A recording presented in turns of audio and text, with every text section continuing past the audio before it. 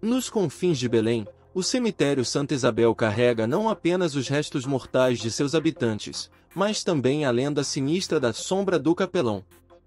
Este capelão, uma figura eclesiástica do século XIX, é conhecido por suas atividades obscuras e por assombrar as noites escuras deste cemitério. Reza a lenda que o capelão, enredado em escândalos e pecados inconfessáveis, foi condenado à escuridão eterna, vagando entre os túmulos.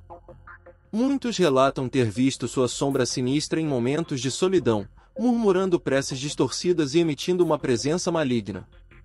Acredita-se que ele busca redenção, mas seu passado sombrio impede de encontrar a paz.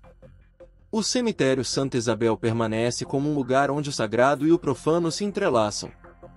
A sombra do capelão serve como lembrete de que, mesmo na morte, os pecados não perdoados podem assombrar eternamente.